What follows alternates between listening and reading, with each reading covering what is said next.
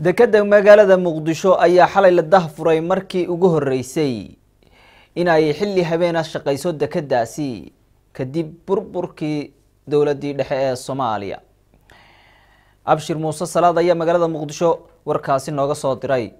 ra'iisul wasaare ku-xigeenka dalka mahdi maxamed guuleed qadar oo yuheliyaan wasiiro iyo saraakiil ayaa xalay dahfuray in dekada muqdisho iyo habeenkii shaqeyso taasi oo la micno ah in habeen iyo maalin dekadu ay shaqeynayso si loo soo kordhiyo howlaha adeega ganacsiga ee kala duwan.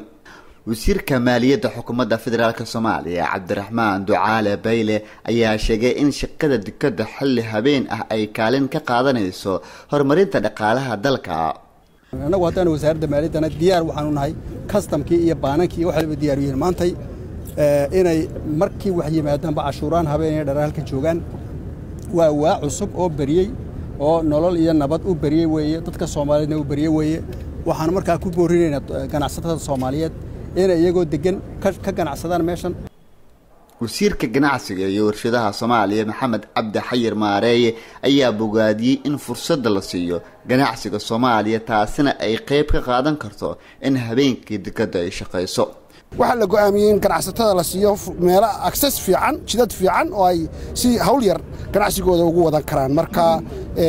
aad iyo aad baanu u faraxsannahay caawa munaasabaddan ugu faraxsannahay ganacsatada soomaaliyeedna waxaanu leenahay oo hadda ay xoogaysatay wax dhoofintu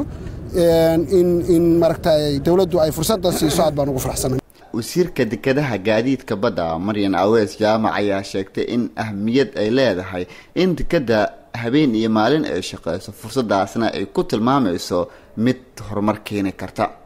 runtii ay u soo hoyatay guul ah in ay arkaan dekeda muqdisho oo habeen iyo maalin shaqaynaysa. Waana rajaynaynaa dhammaan dekadaha soomaaliyeed in ay sidaa u howlgalaan waana runtii qorshe inoo degsan qaabka lagu kobcin lahaa dhaqaalaha soomaaliya. Marka runtii waxaan leenahay guul bishaaro. Ra'iisul wasaare ku-xigeenka dalka mahdi maxamed guuleed qadare ayaa sheegay in farxad iyo guul lagu tilmaamo in habeen iyo maalin si wadajir ah dekadu ay u shaqeyso waxa uuna uga mahad celiyey madaxweynaha jamhuuriyadda federaalk soomaaliya iyo ra'iisul wasaaraha oo ku dhawaaqay in dekadu ay shaqeyso xilli habeen ah. Xilligan waxay ka dambeeyeen dekadu diyaari u tahay in habeenkii ay shaqeyso caawa arkaysaan aynu indhaheenna ku aragnaa soo wada marnay dekedda in amnigii loo baahnaa si ay dekadu habeenkii u shaqaysaa uu diyaar yahay. Ayadii wax baadhaysay aynu indhaheenna ku aragnay mashiinadii kale lagu baadhayey waxyaabaha nabadgelyada iyo amniga khatar gelin kara aynu indhaheenna ku aragnay waxaa markaa shaqadan diyaar u wada ah kow hadday noqoto dhinacii wasaaradda maaliyadda kastamkii oo afar iyo labaatanka saacadoodba heegan u ah inta muwaadin soomaaliyeed oo u baahan in loo shaqeeyo oo ganacsadii uu joogo. In dekadu ay u furan tahay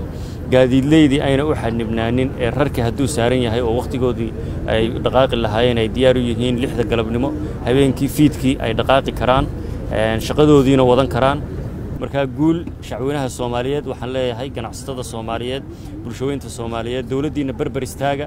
adeegaas cusub ee soo kordhay ee diyaarkaydi inaad dekeda xamar wax kastoo uga baahantihiin habeenkii in la idin qaban karo waxay keenaysaa in lowdhka maraakiibta soo xidhanayaa bataan ganacsigii bato dakhligii dowladdu bato mushaharkii la bixin karo amnigii laga shaqayn karo ciidamada mushaharkoodii la bixin karo adeegii dowladda ee kala duwanaa aynu fidin karno waxaan kusoo gabagabeynayaa guul baan waxaan inoo rajaynayaa dhammaanteenba hambalyo hambalyo hambalyo in habeen dekeda muqdisho ay shaqeyso waxay noqon doontaa fursad kale oo ay heli doonaan ganacsatada taasi oo horey ugu dhib qabeen in marka la gaaro shanta galabnimo ay dekadu albaabada la iskugu dhifto oo xitaa gawaarida dekada gudaheeda ku jirto aysan bannaanka u soo bixi karin.